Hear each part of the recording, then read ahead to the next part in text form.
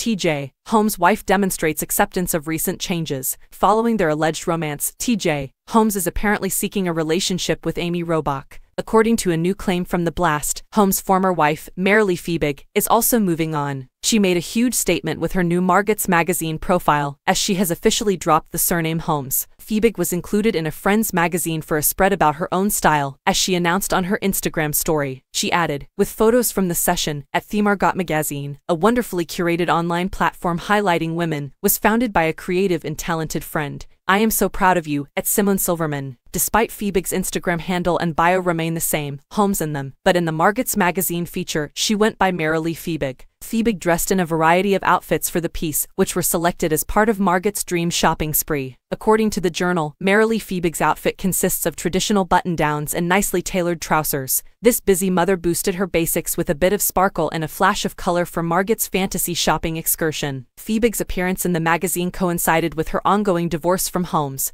whom she married in 2010. She filed for divorce from the infamous Good Morning America host in December, just weeks after it was revealed that Holmes was having an affair with a coworker, Robach. Fiebig issued a statement about the circumstances through her attorney, Stephanie Lehman, shortly after filing for divorce. Throughout the holiday season and in light of the difficult times, the statement said, Marilee's only attention has remained on the overall best interests of her nine-year-old daughter. To that end, TJ, S attorney and I have been collaborating to take their divorce ahead as confidentially, quickly, and peacefully as possible. Lehman went on to say, however, TJ's lack of discretion, respect, and sensitivity toward Marilee and the party's daughter continues to frustrate us. Marilee has been moved by the outpouring of love and wishes for new beginnings in the next year. ABC has taken Holmes and Robach off the air after the incident became public. They were officially sacked from the show in January, according to reports. The former Good Morning America anchors have subsequently been seen together on several occasions, and they are rumored to be dating among the scandal.